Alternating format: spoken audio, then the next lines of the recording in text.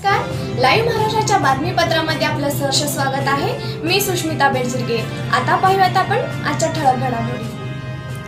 दबंगगिरी करणारे अक्कलकोटचे पोलीस निरीक्षक राजेश गवळी यांना सहकर्मचाऱ्याला सेवीघाळ प्रकरण भोवले सहाय्यक पोलीस निरीक्षक रेवणसिद्ध काळे यांना राजेश गवळी हे एकेरीवर आणि आरेरावीची भाषा करत असत. दबंगगिरी करणारे पोलीस निरीक्षक राजेश गवळी हे आपल्याच अक्कलकोट पोलीस स्टेशनमधील सहाय्यक पोलीस निरीक्षक यांना नेहमीच अधिकाराचा गैरवापर करून धमकावित असत. या धमक्यांच्या विरोधात काळे यांनी वरिष्ठांना निवेदन केले होते. त्याचबरोबर आदिवासी पारधी महासंघ यांनी हे आंदोलन केले होते. होणाऱ्या अन्यायाच्या विरोधात आंदोलनाचे हत्यार उपसले होते.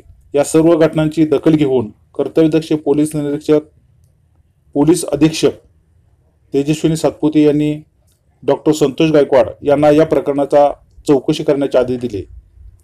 श्री गायकवाड यांच्या अहवालानुसार राजेश गवळी यांची पोलीस ग्रामीण निरीक्षण कक्षात बदली करण्यात आली आहे. त्यामुळे राजेश गवळी हे पोलीस अधीक्षक तेजस्विनी सातपुते मॅडम यांच्या नजरेसमोर नेहमीच राहतील असे बोलले जात आहे. लाईव्ह महाराष्ट्रासाठी नंदकुमार कांबळेसह प्रांजली उकळे सोलापूर. नमस्कार मी साक्षी काळे. आपण पाहत आहात लाईव्ह महाराष्ट्र.